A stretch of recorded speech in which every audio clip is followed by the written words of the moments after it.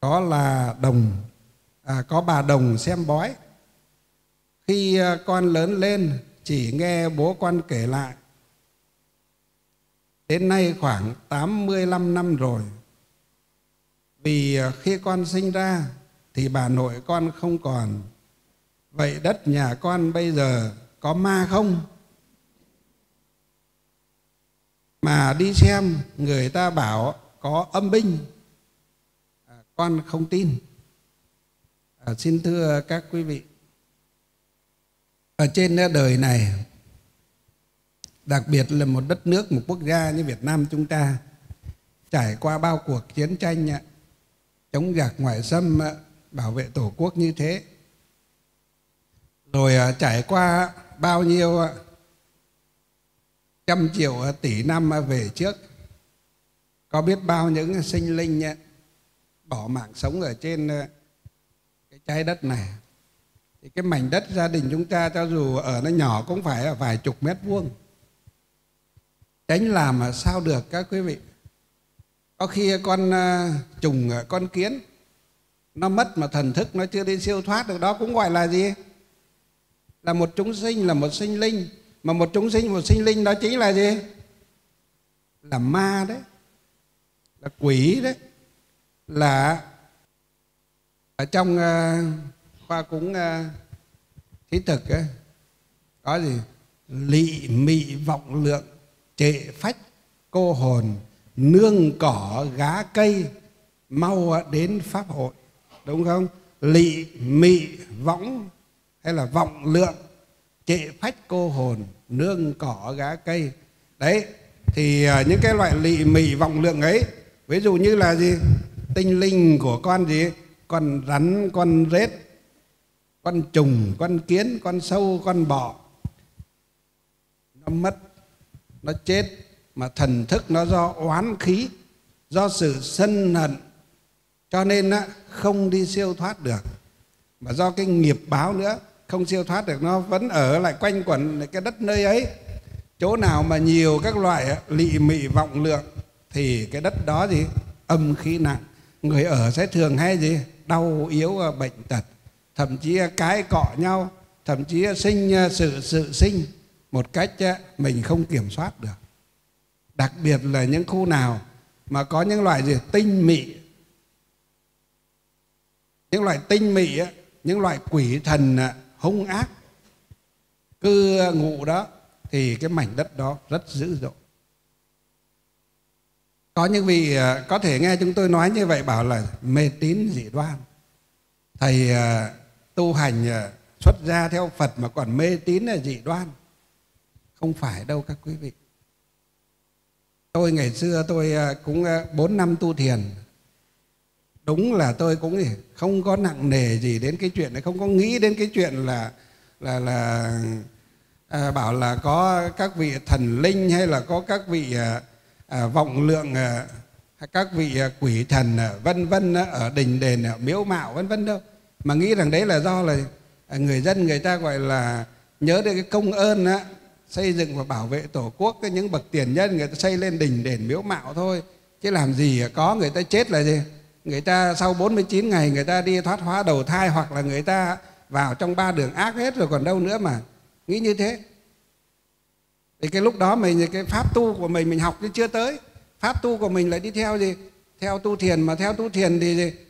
ngày đó là toàn thích đọc cái sách về thiền như là thiền tổ sư thiền à, trực chỉ nhân tâm kiến tính thành phật bất lập văn tự giáo ngoại biệt truyền đấy thôi. Đó cho nên là cũng không có để ý gì đến cái học về à, à, các à, nghi thức nghi lễ về à, nặng về hình tướng nặng về gì? Về à, Ờ, tâm linh vì vậy mà cho cái chuyện đó là chuyện bình thường. Nghe nói có quỷ thần hay có mảnh đất ờ, giữ đất dần gì đó thì cũng cho là bình thường. Ba bốn năm chuyên tu thiền thì nó lại có thiên về cái hướng như thế. Đấy. Từ khi mà năm 2012 đến giờ thì hay tổ chức pháp hội ở Trung Phong ấy thì lại ờ, hay là sau này mấy năm sau lại lại giảng kinh địa tạng và truyền bá kinh địa tạng á thì thấy Phật dạy trong kinh địa tạng à, có các vị thần linh à, à, vân vân đó. Thì lúc đó mới bắt đầu thì mở rộng cái tấm lòng mình ra, cái tâm mình ra để tìm hiểu, tham khảo nhiều hơn các pháp môn của mình theo trước đây. Trước đây là tôi chỉ thích là tu thiền và tu theo pháp hoa thôi. Có niệm phật nhưng mà niệm để mà niệm thôi. Thậm chí là còn là phát nguyện là đời đời kiếp kiếp là hành giả pháp hoa chuyển uh, truyền bá pháp hoa và thọ trì pháp hoa. Và một thời gian tôi còn mấy năm hơn năm hai năm gì đó tôi còn không thèm niệm danh hiệu a di đà phật nữa. Chỉ niệm năm mô diệu pháp liên hoa kinh đấy như thế đấy. Hoặc là niệm nam mô bản sư thích ca mâu ni phật rồi Đấy, có niệm phật thì niệm đức phật bản sư thì không niệm a di đà phật. Vì phát nguyện là ở lại thế giới này để truyền bá kinh pháp hoa về đọc kinh pháp hoa thấy là xá lợi phất, mục kiền liên, a nan, ca diếp, ma ba xà, ba đề, gia du, đà la tỷ khiêu ni, vân vân. Các ngài đều là bậc đại a la hán là đệ đại đệ tử của phật mà nghe phật phó chúc ở lại thế giới này để truyền bá kinh pháp hoa, cụ nào cũng sợ. Cụ nào cũng bảo lại phật thì sau này thì con sẽ đi đến thế giới khác để truyền bá kinh pháp hoa. Thế giới này chúng sinh nó càng cường, càng ngày nó càng gì? Càng à, ương ngạnh càng cường, khó độ. Nó không nghe cho nên các ngài gì? Các ngài không muốn ở lại thế giới này vì sao? Chán. Dạy mãi mà nó trả tin. Nói mãi mà nó không gì, không theo. Thậm chí nó còn gì báng bổ lại mình nữa, cho nên các ngài gì? Các ngài chán. Mình à, tụng lúc đó rồi, được một chút à, công đức à, hoan hỷ là bảo thôi các ngài chán để đó cho con. Ghê chưa? Bắt đầu là phát nguyện không niệm a di đà phật nữa. Quay lại niệm thích ca mâu ni phật. Niệm thích ca mâu ni phật một thời gian bảo đã thế thì thôi không niệm đến ca mâu ni phật đâu, niệm hẳn nam mô diệu pháp liên hoa kinh. Và phải đến ờ, hơn năm, hai năm trời tôi chỉ niệm nam mô đại thừa diệu pháp liên hoa kinh. Nhưng ờ, từ năm 2012 á, đến giờ, khi mà được ờ, học, được nghe hòa thượng tỉnh không giảng về pháp môn trung phong tam thể niệm thì chúng tôi nghe và cũng là thực sự là đủ duyên. Cho nên là học cũng nhanh lắm cho đến bây giờ thì hôm rồi mấy thầy à, đi họp à, trung ương giáo hội ấy, ở trong thành phố Hồ Chí Minh mấy thầy gặp mấy thầy à, tổng tổng kết lại mấy thầy bảo là cái pháp tam thời hệ niệm của đại lão hòa thượng tịnh không truyền bá. Ở Việt Nam chúng ta cũng có khá nhiều các quý thầy tổ chức. Nhưng chỉ có chùa Khai Nguyên chỗ thượng tọa là gì? Là mạnh nhất. Là thầy nói là gì? Là mạnh nhất là chuẩn chỉ nhất và thậm chí không chỉ có pháp hội mà cả các nghi thức nghi lễ thầy đều chuyển hóa được thành à, à như pháp hội ấy. Mà rất nhiều phật tử à, à hoan hỷ không chỉ đến chùa họ mới tụng về nhà họ cũng tụng cũng theo cái nghi thức ấy. Như vậy là gì? À, đúc kết lại ở Việt Nam. Theo cái phương pháp của tịnh tông học hội ở thế giới thì chỉ có khai nguyên chúng ta là gì? Là mạnh nhất. Đấy là mấy thầy nói thế chứ thầy cũng không thấy là mình mạnh nhất, hay là mình yếu nhất, cũng không phân biệt là mình mạnh nhất hay là ai mạnh nhất. Đối với thầy thì à, không à, có phân biệt cái đó. Ai mạnh nhất à, cũng được, mình yếu nhất cũng chẳng sao, không quan trọng cái đó. Việc của mình là gì? Là thượng cầu phật đạo, hạ hóa chúng sinh, tri ân và báo ân gì? Các bậc tiền nhân, các bậc tiền bối cơ mà. Có phải là việc của mình là để tổ chức cho có nhiều người đến rồi nhiều người cúng dường, nhiều người khen ngợi mình là tài, là giỏi, là thù thắng, là vi diệu, là hơn ờ, hết ờ, tất cả đâu. Không nặng nề cái đó. Cho nên ở đây ngày xưa chúng tôi ờ, học cái khóa lễ ấy cái pháp hội ấy, cũng không có thời gian để học. Thực sự là có ba bốn tiếng gọi là học thật để duyệt thôi. Còn lại là đi trên xe, nghe, vừa nghe vừa học vất vả thế đấy các vị đâu có phải là có thời gian đâu. Và cứ nghĩ rằng sau này thì càng ngày tuổi càng càng cao tu càng lâu thì nó càng nhàn nhã hơn. Nhưng không nghĩ là bây giờ nó lại càng ngày thì càng vất vả hơn. Chùa thì bảy tám ngôi chùa rồi nhá. Công việc phật sự thì từ trung ương đến địa phương không có bỏ một cấp nào. Ngày xưa thì cứ nghĩ là thôi càng già, tuổi càng cao thì chắc mình gì càng nhàn nhã để mà tu nhưng mà nghĩ đi, nghĩ lại thì ai cũng thích nhàn nhã. Thì ờ, gánh ờ, vác cái giáo hội này, ai gánh vác mà ai cũng muốn về núi để ờ, ngồi để nhàn nhã, để tu á. Thì một vài chục năm sau có khi đi xuống thành phố, chả thấy cái chùa nào nữa, hoặc chùa chỉ có chùa nữa thôi, còn các tín đồ là gì là các tôn giáo khác người ta lấy hết rồi. Cho nên làm việc giáo hội là vất vả lắm, các cụ, các phật tử, không đơn giản thế nào đâu nhưng mà thôi thì à, bây giờ cũng còn trẻ trẻ. Không không phải là còn trẻ hẳn nữa nhưng cũng còn hơi trẻ trẻ. Sức khỏe cũng vẫn còn gì à, khá khá.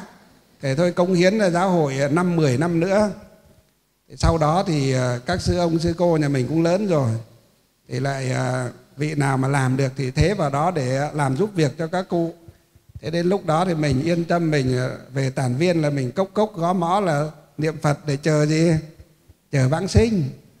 À, cụ nào lúc đó phật tử nào muốn à, cùng à, đi lên đó để cốc cốc niệm phật để cầu vãng sinh, chờ vãng sinh thì cứ đi với thầy, nhá. A di đà phật. Cho nên bây giờ thì cái công việc càng ngày nó càng nhiều lên. Nhưng mà các khóa tu chúng ta vẫn phải duy trì nhiều đến đâu thì nhiều cũng phải duy trì. Không duy trì các khóa tu thì ờ, ờ, đạo Phật của chúng ta có tạm thời theo như quan điểm thời phân hai mảng. Một mảng là gì? Là hoàng pháp một mảng là gì? Là hành pháp. Hành pháp tức là tu tập hoàng pháp tức là chúng ta học tập và chúng ta gì? Và các cụ làm công việc giáo hội đó là hoàng pháp. À, giữ gìn cái mạng mạch của Phật giáo à, ở chiều gì? Chiều rộng. Còn chúng ta chuyên tu là gì? Là duy trì và giữ gìn cái à, mạng mạch của Phật giáo chiều sâu. À, cho nên chúng ta phải có cả chiều rộng phải có cả chiều sâu thì mới được. Nếu chỉ có chiều rộng mà không có chiều sâu à, tu tập à, thì tín đồ phật tử họ vào học một thời gian họ không thấy an lạc không thấy giải thoát. Cái vấn đề tâm linh mâu mắc ở trong đời sống họ không giải quyết được thì họ cũng bỏ đạo mà thôi.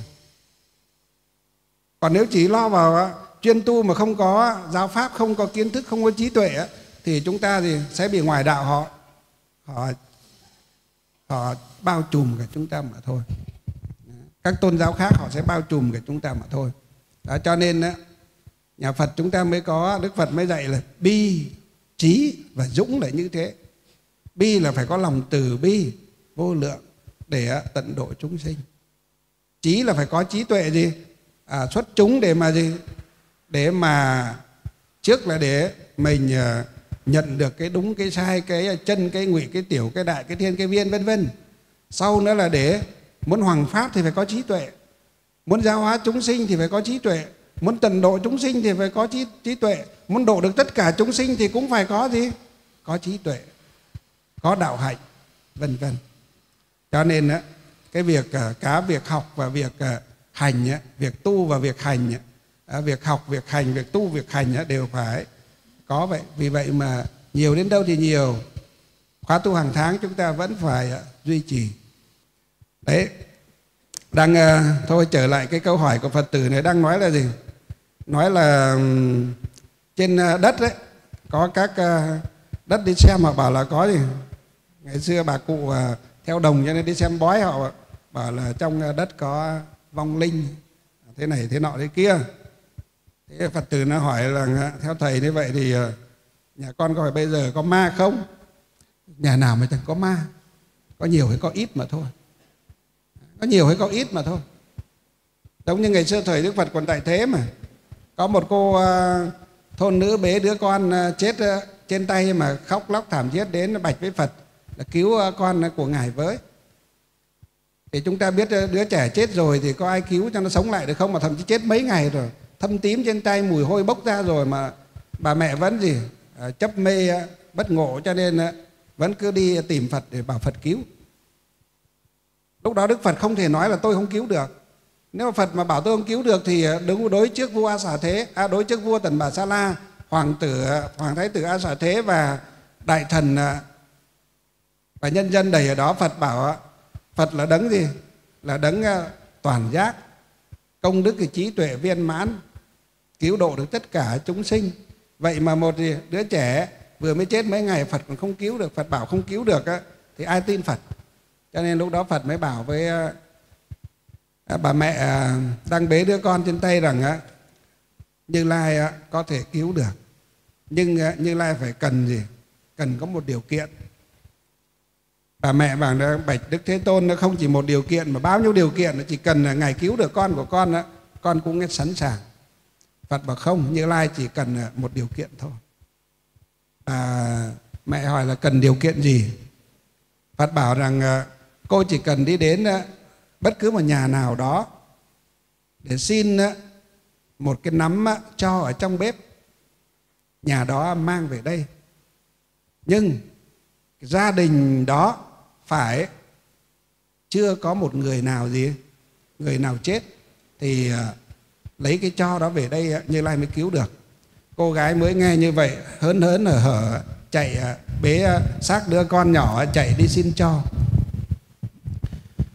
Đến nhà nào họ cũng đồng ý cho cho. Nhưng mà hỏi là là gia đình nhà mình có người chết không? Lúc đầu có người thì bảo là không. Nhưng mà sau họ suy nghĩ là một chút là gì? À, ông ờ, nội mình ờ, chết rồi, ông ờ, bà nội mình chết rồi, bố mình chết rồi, mẹ mình chết rồi mà. Mặc dù chết vài chục năm nhưng cũng là chết rồi. Đó, cho nên là bà không, nhà tôi là gì? Có người chết rồi. Là chạy sang nhà hàng xóm. Họ bảo, nhà tôi vừa có người mới chết mấy hôm vừa rồi. Chạy sang nhà hàng xóm nữa, họ bảo gia đình, nhà nhà tôi thì mấy năm trước đó, có người cũng vừa mới chết. Và cuối cùng cô gái đi thì đi chạy hết từ đầu làng đến cuối làng không có nhà nào là không có người. Không có người chết cả. Mà chúng ta biết rồi, người chết thì có phải ai cũng được siêu thoát không? Đọc trong kinh phật chúng ta thấy không ai được siêu thoát. Mà không được siêu thoát thì làm gì? Mình nói nôm na là làm gì? Làm ma.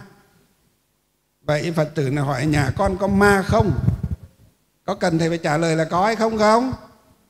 Không cần, chúng ta cũng tự gì? Tự biết một cái vấn đề nữa là như thầy đang nói đó. Hàng triệu hàng tỷ năm này trái đất này tồn tại như vậy rồi trải qua bao nhiêu cuộc chiến tranh bao nhiêu những sinh linh lớn nhỏ con trùng con kiến lị mị vọng lượng quỷ thần vân vân. Mất ở trên trái đất này. Thì cái miếng đất chúng ta ở vài à, chục mét vuông hay vài trăm mét vuông cái chuyện gì? Có tinh mị quỷ thần rồi có các uh, linh hồn hương hồn của các loại sinh linh, các loại chúng sinh thậm chí là con người, cũng chẳng có chi là lạ cả. Cái điều quan trọng đó là gì? Chúng ta sống làm sao đó cho âm dương hòa hợp. Sống làm sao để cho âm dương hòa hợp? Tức là chúng ta gì? Chúng ta phải thờ phụng đèn hương. Vì vậy mà trong mỗi một gia đình đều có cái bát hương gì nhỉ? Bát hương thần linh nhé không chỉ thờ thần linh mà thờ cả gì gia tiên đó, nội à, ngoại hoặc gia tiên đó, tổ cô tổ cậu vân vân đó. đó chúng ta thờ phụng như thế để mùng một ngày rằm ngày rỗ ngày tết đèn hương đó. anh bông hoa quả thành tâm để kính lễ đó như vậy là một cách để chúng ta gì chúng ta ở trên đất của thần linh ở trên đất của các à, vong linh hương linh chúng đẳng vân vân chúng ta có thờ phụng họ vậy. Có thành nhà kính họ vậy.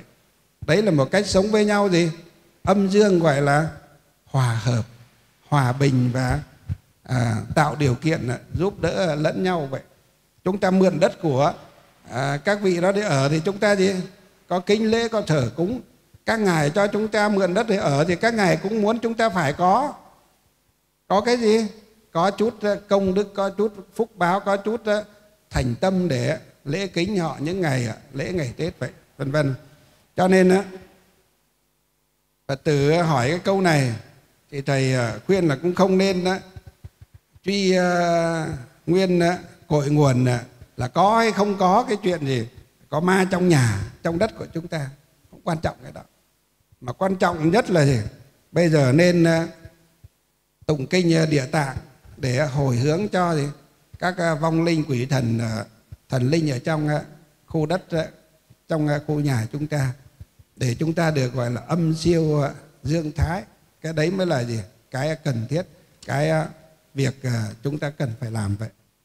Câu hỏi thứ hai và từ này hỏi, con trai, con năm nay 35 tuổi, có ba con rồi, nhưng cháu không chịu làm ăn mà nhiều năm cứ sống ở Hà Nội, không nuôi con rồi cứ lừa cha mẹ tiền thậm chí cả, cả người khác. Theo phật thì con phải trả nợ à, cho con vì tiền kiếp. Bây giờ à, không có cách gì dạy được mà cháu cũng không ở nhà. Vậy à, có cách nào để cháu cải tâm tính không ạ? À? con kính mong thầy giải đáp giúp con. Con xin tri ân công đức của thầy. Có đấy có cách đấy nhưng quan trọng nhất gì? Nó có làm theo hay không? Có thuốc để gì? Để chữa đấy nhưng quan trọng nó có uống hay không? Đấy. Bây giờ về phật tử này cứ về bảo cháu nó tết ờ, năm nay lên đây uh, chấp tác ở đây uh, tu tập với các thầy uh, tại gia làm công quả tu tập thôi quét chùa tu tập khoảng là 6 tháng một năm. Chịu khó uống cái thuốc a già đà ấy thầy đảm bảo là gì? Là nó sẽ lành lại rất là nhiều nhưng quan trọng nó có uống hay không. Đó có cách cách thì có tức là thuốc thì có nhưng nó có uống hay không cách nó có gì làm hay không. Đấy ở đây cũng có mấy chú này nè. Có mấy chú đang ở đây ngày xưa cũng đầu bò đầu biếu. À, cũng là dân anh chị xã hội đấy, thậm chí còn vào tù ra tội đó. Nhưng sau khi đi về một cái đấy, xin bố mẹ lên chùa bố mẹ gửi lên chùa. Ở đây á, làm công quả. Bây giờ ngoan xin lỗi các vị ngoan như con cún đấy nói như con cún là gì? Là đáng yêu. Là cái từ thầy nói là gì? Đáng yêu. Chứ không phải là nói người ta là gì? Là xấu đâu. Nhá nhớ cái đó. Ngoan mà chịu khó. À, các vị nhìn có những chú làm mà mặc cái ở nhà thì ăn mặc à, lúc nào cũng à, tươm tất bảnh bao lên chùa chân tay lúc nào cũng lấm lem mà mặc cái cái quần gì nào là sơn nào là đất bụi bám đẩy đẩy ra. Không ai nghĩ rằng à, những cái vị này ngày xưa là có cái tiền sử là gì? À, xã hội anh chị à, thậm chí là gì, đâm chém nhau đánh đập nhau các thứ ở ngoài xã hội. Nhưng bây giờ đến với phật làm công quả trong cửa phật thì lại gì? Ngoan như thế. Thầy nói là ngoan như con cún là nói câu gì? Thực sự là đáng yêu đấy. Đấy có thuốc. Nhưng quan trọng đó, nó có uống hay không? À, có phương pháp nhưng quan trọng nó có muốn gì làm theo hay không? À, chỉ có bằng cách đấy mới có thể làm theo thôi các quý vị còn bỏ vào tù và cũng gì? Cũng càng khó. Vào tù rồi thì à, ra lại thành tội thôi. Khó lắm. Những trường hợp mà như thế thì người ta không ý thức được không giác ngộ được thì à, không có một cái bộ kinh nào có thể gì cầu nguyện cho họ từ gì?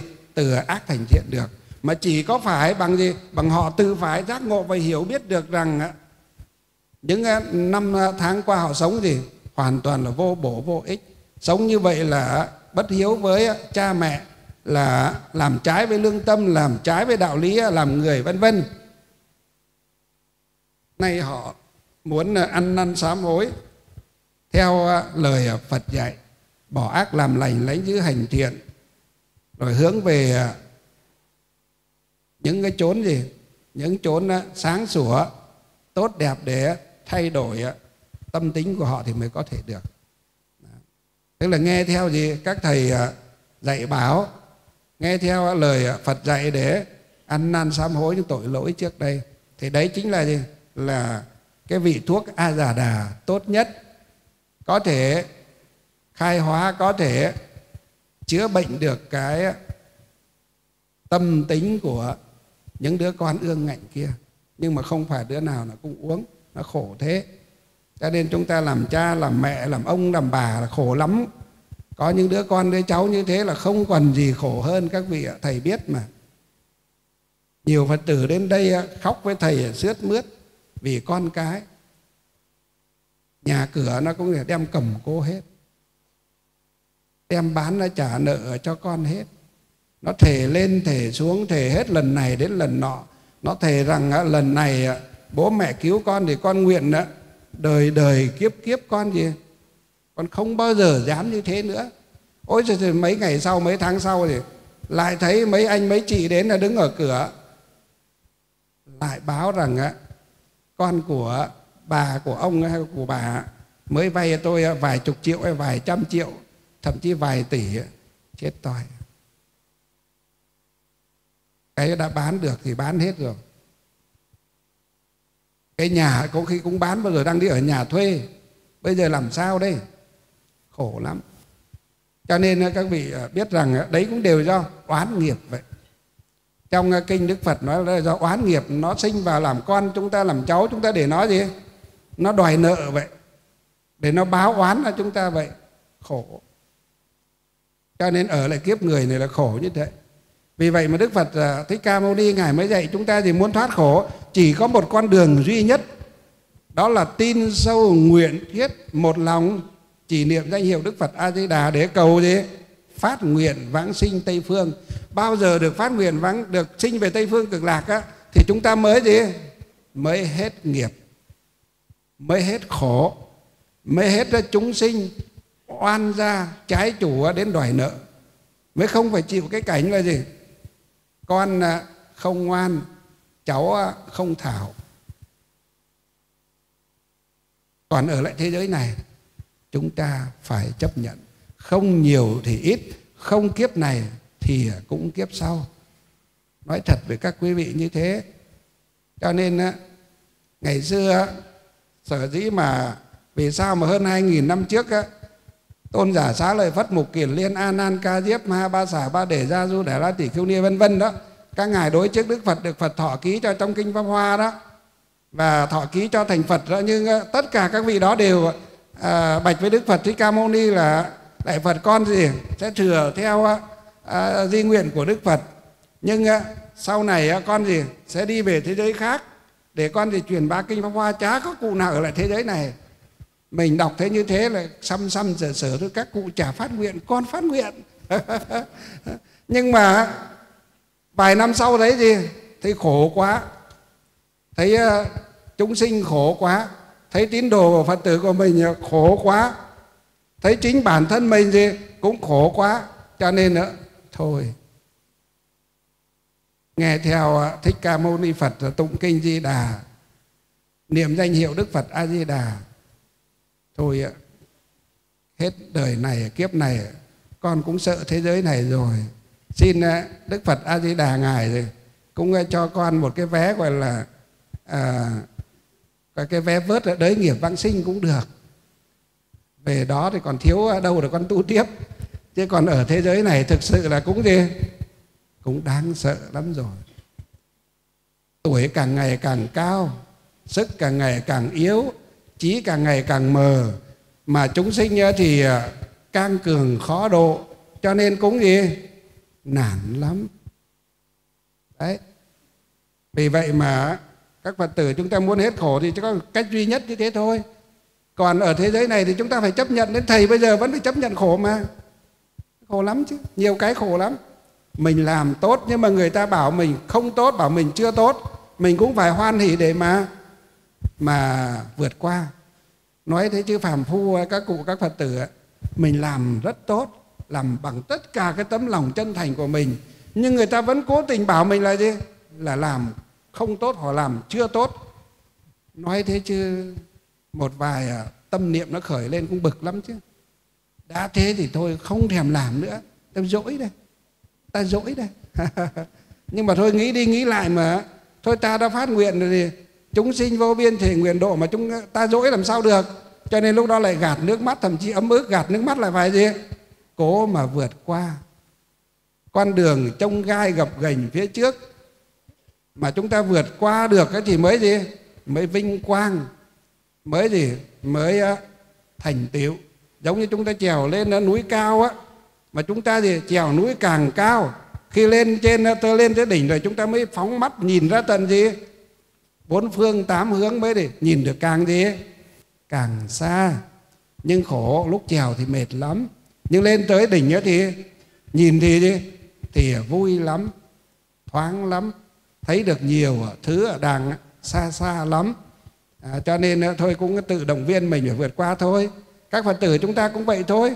Vì cuộc sống chúng ta gì gặp bất cứ cái trắc trở gì khó khăn gì chướng ngại gì đau khổ gì chúng ta cũng nên tự phải động viên mình như thế thôi. Lấy kinh phật mà giải sầu. Lấy à, câu phật hiệu để mà mà trừ đi à, bệnh khổ. Như thầy nói đó khổ quá không biết làm thế nào. Trước đây chưa học phật thì chúng ta gì? Đi đâu cũng khóc nhìn cũng ẩu uh, yêu sầu à, nhiệt bi khổ não. Chả có cái sự sống gì ở trên nét mặt cả.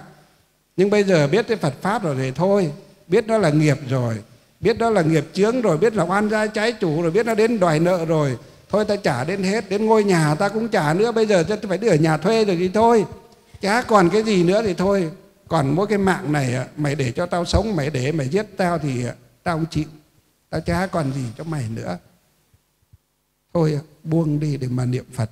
Coi như là gì? Duyên trần tuy à, chưa hết, nhưng ta không để cho nó vướng bận nữa. Còn một vài năm tuổi già nữa, cố gắng để niệm phật để cầu vãng sinh.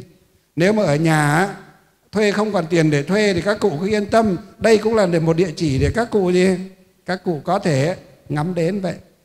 Cứ đến đây. Chỉ cần các cụ ngoan, các cụ chịu khó niệm phật, các cụ sống hòa đồng với mọi người. Có đến trăm cụ, đến nghìn cụ thầy thì thầy à, cũng sẵn sàng à, hoan hỉ đón tiếp các cụ hết nhé a di đà phật. Con thuyền này nó còn nhiều chỗ lắm nhiều chỗ trống lắm. À, cho nên thầy như là người à, thuyền trưởng như ông thầy lái đò thầy là thuyền trưởng ấy các cụ các phật tử cứ đến đây. À, tu ở đây à, hoặc là muốn yên tĩnh à, tu tập à, thanh tịnh hơn thì lên tản viên. À, tản viên các cụ cứ thế mà niệm phật thôi có gì đâu bao giờ đến khóa tu muốn nghe trực tiếp thầy giảng muốn nhìn thấy thầy thì lại về đây xong đó thì lên ờ, tản viên tu không sao không phải đóng góp bất cứ một cái gì. Chỉ miễn là các cụ chịu khó niệm phật sống gì hòa đồng với mọi người mà thôi. Không đòi hỏi các cụ bất cứ một cái gì hết chỉ cần như thế thôi. À, là ổn rồi. Đó. Cho nên ờ, không phải lo. Chứ còn đến mà gì mà niệm phật miệng thì nam mô a di đà phật mà lòng thì à, đầy những cái sự à, bức bách không xả được.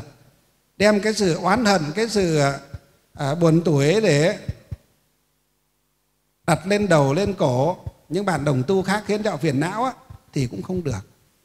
Vì à, thầy cũng không muốn để cho ngôi chùa những cái à, trên cái chuyến đò trên cái chiếc thuyền của thầy lái á, nó đầy cái sự gì? Mâu mắc ờ, cái cọ nhau đầy những ờ, sự ờ, sầu bi khổ não ở trên đó cho nên vị nào đến một thời gian mà không hòa được thì cũng mời gì, mời đi chùa khác hoặc mời quay lại đi thuê nhà, hoặc là quay lại ở với gì, với con, với cháu vậy đó. tất nhiên, có cả ở chùa không phải là các cụ đến đây ai cũng thấy thế đâu, ai cũng khó khăn vất vả đến chùa đâu có những cụ, có những phật tử, gia đình con cái rất là ngoan hiền, hiếu thảo gia đình có đầy đủ các thứ hết. Nhưng mà các cụ gì? Muốn cầu đạo cho nên đến gì? Đến ờ, đến chùa để gần thầy, gần tổ, gần ờ, chư tăng để học, hỏi và để tu tập được tinh tiến hơn. Thì đây gọi là gì? Mình gọi là phát tâm gì? Đại thừa rộng lớn. Đó, cho nên các cụ đừng có nói thấy vào thấy các cụ trong chùa đó ai cũng khổ. Ai gia đình ờ, con cái cũng bỏ rơi mới đến chùa đâu nha, không có đâu. Thì nói như thế không có các phật tử lại thấy là cụ nào ở đến chùa này cũng quay nhìn là bằng con mắt là ở nhà chả con nhà còn cửa nên mới đến chùa khánh nguyên với thầy. Không phải.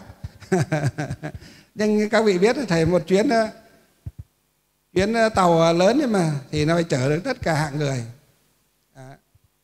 Thầy như là người người người lái tàu ấy, lái thuyền ấy. chư tăng là những người gì? Người bảo vệ những người thợ máy ấy. À, còn các phật tử chúng ta là gì? Những hành khách. À, nên là chúng ta cùng à, nhau đoàn kết để gì? Để à, đưa con thuyền à, tới bến. Từ cái gì? Xuất phát từ cõi gì? Xa bà khổ đau để cập bến gì tây phương cực lạc an vui.